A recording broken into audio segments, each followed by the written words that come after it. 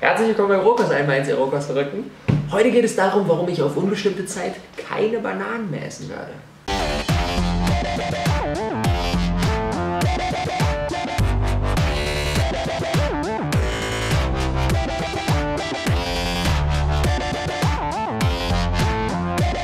Denn wir sind gerade nämlich für vier Wochen äh, im sonnigen Spanien und zwar in Malaga und hier ist es noch im Vergleich zu Deutschland, ist es hier noch echt recht äh, spätsommerlich. Wir hatten, äh, gestern hatten wir 22 Grad, die Sonne hat fett geschienen so. Ähm, und das Schöne daran ist natürlich auch, das Früchteangebot ist hier einfach bombig. Nicht so wie in Deutschland um diese Jahreszeit, sondern es gibt hier echt richtig, richtig viel Auswahl. Ein bisschen was liegt hier vor mir und das Geilste ist, es ist alles einfach mal regional. Es kommt alles aus der Umgebung, aus, aus, äh, aus dem Kreis Malaga, aus Andalusien. Ähm, wir haben super, super leckere Birnen, die auch schon richtig reif sind. Dann haben wir Kakis am Start. Kakis sind gerade in Season und Kakis sind super geil süß. Mangos hier, ich bin ein unglaublicher Mango-Fan und wie du es hier siehst, diese Mangos, das sind solche Tiere, das sind nicht wie diese komischen Supermarkt-Mangos, die in Deutschland verkauft werden, die steinhart sind und so, sondern die sind richtig geil. Wenn du die kaufst, kannst du die schon essen, kannst du auch noch einen Tag liegen lassen, aber kannst du auch schon essen, die sind schon weich. Super süß.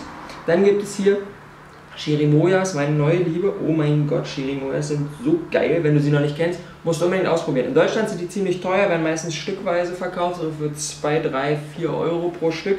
Hier werden die einfach mal kiloweise abgewogen, liegen, äh, kosten nicht mehr als Äpfel. Ähm, und die sind so geil süß und die reifen innerhalb von ein paar Tagen. Das ist mir auch aufgefallen, weil es hier einfach viel, äh, äh viel äh, sonniger ist, reifen die Früchte schneller. Ich habe die Cherimoya vor zwei Tagen gekauft. Sie war noch steinhart und jetzt kann ich sie jetzt schon essen. Guck mal hier, ich kann sie schon eindrücken. So. Total geil. Dann gibt es natürlich Orangen hier. Orangen sind auch super günstig. Ähm, kommen auch von hier und die Äpfel sind auch von hier. Und was ich damit sagen will, es gibt einfach mal so fresh viel Auswahl äh, von süßem, süßem Obst, das direkt hier aus der Umgebung kommt. Und dann dachte ich mir so, warum soll ich denn dann Bananen äh, kaufen, die aus Costa Rica eingeflogen werden, aus Ecuador, aus Kolumbien und wo auch immer, einmal um den halben Globus geschickt ähm, wenn ich einfach mal das super süße Obst mir gönnen kann, was direkt von hier kommt. Denn in letzter Zeit merke ich einfach immer wieder, es hat super viele Vorteile, regional einzukaufen. Hier unten ist auch nochmal ein Link zu einem Video eingeblendet, was wir vor ein paar Tagen gedreht haben, wo es genau darum geht, warum man das machen sollte. Und außerdem, es ist auch einfach viel billiger so. Die Äpfel, die Orangen, es ist alles super günstig. Gut, Bananen sind natürlich hier auch nicht teuer, Bananen sind eigentlich nirgendwo teuer, aber ähm, äh, in Deutschland ist es ja oft so, dass die Bananen einfach mal sehr, sehr erschwinglich sind und gut satt machen und sowas und alles andere Obst ist ziemlich teuer im Vergleich ähm, und da fällt es mir dann schwer. In Deutschland habe ich auch immer bisher viele Bananen gegessen, weil es halt einfach eine äh, gute, gute äh, Sattmachquelle ist. Aber hier, wo es das alles gibt, auch zu einem sehr, sehr akzeptablen Preis, warum sollte ich denn dann die ganzen äh, Bananen kaufen, die einfach mal äh, hier eingeflogen werden?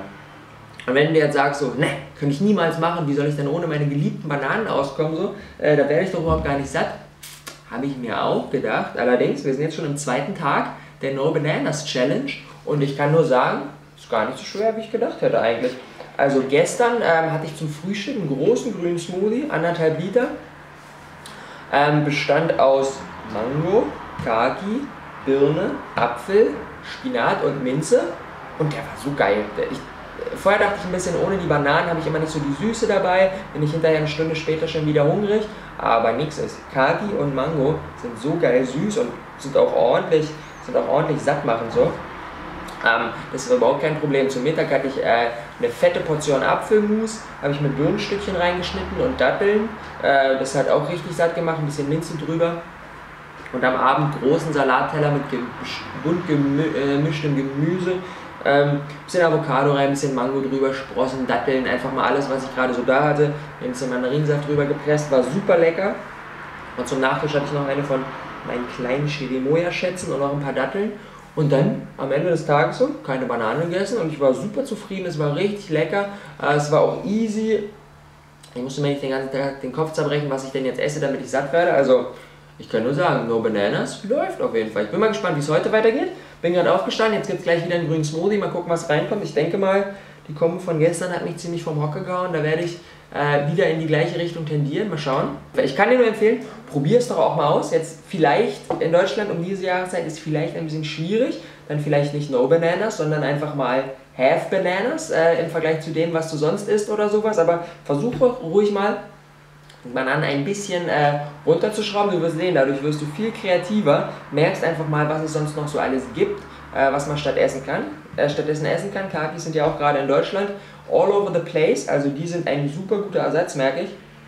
Weil die geben auch schön die Süße und machen einfach satt. Ähm, ja, probier es ruhig mal aus. Wenn du sagst so, ja, geile Idee, gib diesem Video einen Daumen nach oben. Wenn du sagst so, was, keine Bananen, komme ich nie mit klar, gib diesem Video einen Daumen nach unten oder schreib es in die Kommentare oder äh, mach es einfach nicht, wie du willst. Äh, ist auch überhaupt kein Problem. Ich kann es dir äh, nur empfehlen, für mich funktioniert es gerade bombig. Ich lerne dadurch voll viele neue äh, Kreationen kennen und es macht richtig Bock und es ist eine feine Sache. Wir sehen uns im nächsten Video, damit du es nicht verpasst. Drück einmal auf den Abonnieren-Button, schau einmal bei, bei, Instagram vorbei, da poste ich natürlich jeden Tag, äh, was es denn so bei mir zu essen gibt, ohne Bananen, zumindest für die nächste Zeit. Ähm, da gibt es spannende Dinge. Wir sehen uns im nächsten Video, lass es dir gut gehen, ciao. Herzlich willkommen beim Rohkost, ein Mainz Rohkost Heute gibt es fünf Gründe, warum es besser ist, regional einzukaufen.